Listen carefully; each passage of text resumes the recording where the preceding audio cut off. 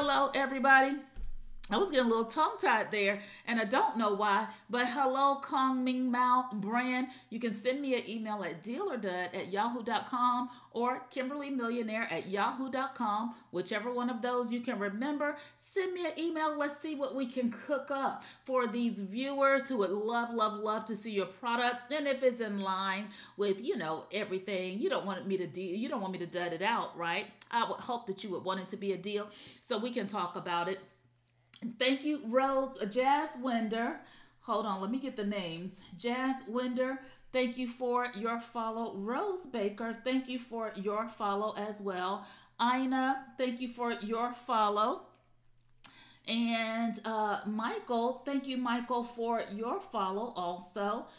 Uh, Marjoria, Marjoria, Marjoria, thank you so much for your follow. Please forgive me for saying your name